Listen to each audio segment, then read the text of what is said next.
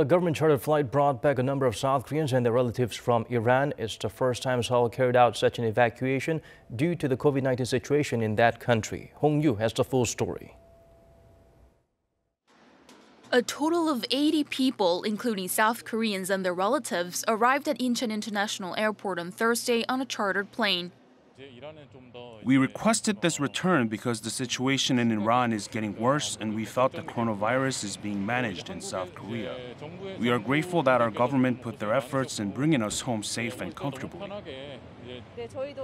All four flights that we had booked to South Korea had been cancelled. But thanks to this flight, we are now away from Iran where the virus is spreading badly. Although South Korea has previously evacuated its nationals living in Wuhan, China, where the virus first broke out, and from the Japanese cruise ship the Diamond Princess, this was the first time that it's decided to bring back its nationals from a whole country. The South Koreans coming from Iran will be staying at the KOICA Training Center in Gyeonggi-do Province for one or two days to get tested for the virus. Even if they test negative, they will have to self quarantine for two weeks.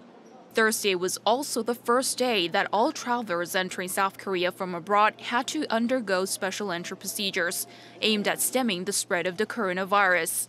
Previously, the measures were only applied to those arriving from China, Japan, Iran, and European countries. But as the number of confirmed cases and people showing symptoms has increased among recent arrivals, the screening is being applied to all overseas arrivals.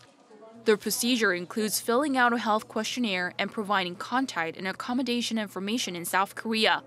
Entrants will also go through body temperature checks. They must also download a self diagnosis smartphone application and use it to report their health conditions every day for two weeks. Overseas travelers without a smartphone are contacted and monitored by the health authorities' call centers. Hong Yoo, Arirang News.